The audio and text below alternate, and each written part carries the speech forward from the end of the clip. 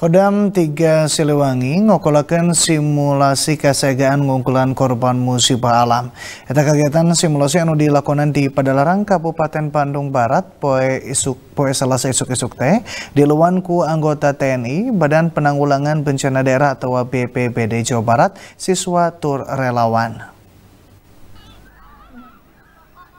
Mang puluh-puluh warga tembong tagiwur nalika katarajang musibah alam Gunung Bitu. Mang pirang korban beruh beratur tanandangan tatu, balukar katindihan mang pirang ruruntuk wangunan imah. Samalah sawatara korban sejena dievakuasi make tandu, tuluy diangkut tina luhur lamping anu jangkung na 200 meter.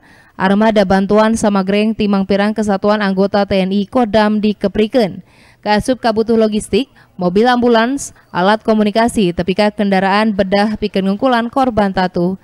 Lianti armada angkutan eta simulasi ge dilakonan keur nataharkeun kasayagan prajurit TNI lebah ngawangun tenda penampungan saheulaan pikeun warga nu ngarungsi, dapur umum sarta posko kesehatan anu diwewegan ku medis. Eta kegiatan teh mangrupa simulasi prak-prakan ngungkulan musibah alam anu dipaju di lapang tembak Pusat Pendidikan Kavaleri atau Pusdikaf Kecamatan Padalarang Kabupaten Bandung Barat. Lianti prajurit TNI Kodam Tilu Siliwangi, eta kegiatan ge diwewagan ku Badan Penanggulangan Bencana Daerah atau BPBD Jawa Barat, siswa turta relawan.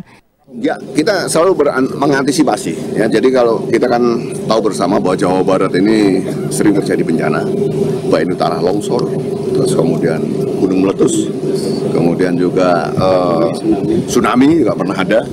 Jadi setiap ada Lianti itu eta simulasi teh ditataharkeun papali jeung erupsi Gunung Tangkuban Perahu sawatara waktu katompernakeun anu ngalantarankeun sakumna pihak waspada ka asup reng-rengan Kodam Tilu Siliwangi. Eta kegiatan teh diharap mampu ngarojong anggota TNI sangkan leuwih sayaga lebah ngungkulan musibah alam ke asup ngabantuan korban. Algi Muhammad Gifari, Bandung TV.